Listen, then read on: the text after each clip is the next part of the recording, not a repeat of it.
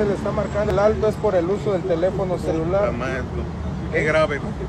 No, es una falta administrativa nada más. ¿No saca para el desayuno?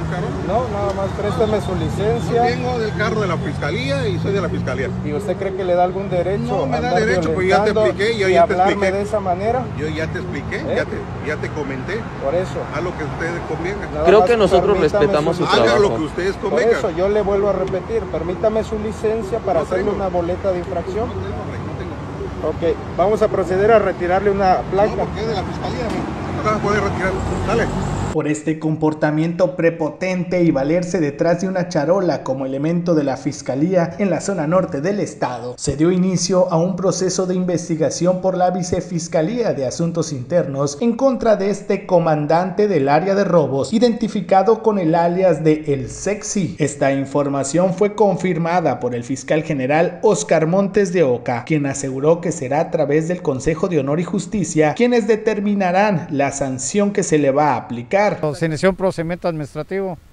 Ajá. Entonces tenemos dos días apenas, se va a instaurar y lleva etapas las cuales se van a cumplir de acuerdo a los términos procesales. Vamos a esperar si se califica grave o no. El Consejo de Honor son los que van a determinar.